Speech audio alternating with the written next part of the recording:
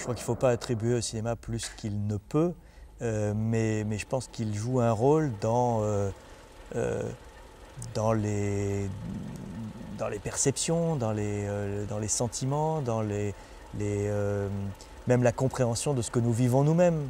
Il, y a des, il y a des films aujourd'hui qui peuvent être des, des, comédies ou qui peuvent être des, des films beaucoup plus lourds et, ou des documentaires qui nous qui nous donne un miroir dans lequel nous nous regardons.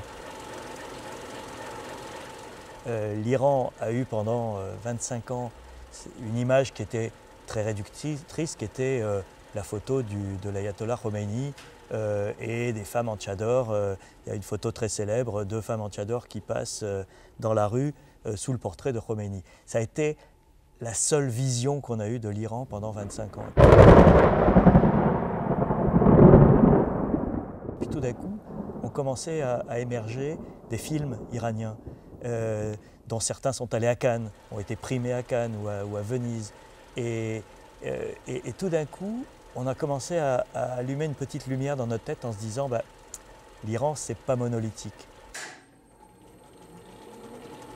Je pense que le cinéma était le premier signal que l'Iran n'était pas un bloc monolithique, qui avait des nouvelles générations, qui avait d'autres aspirations, que, euh, derrière cette façade euh, de, de, il y avait une vie, il y avait des gens qui réfléchissaient, qui créaient, qui aimaient, qui euh, pleuraient, et que le cinéma nous l'a montré.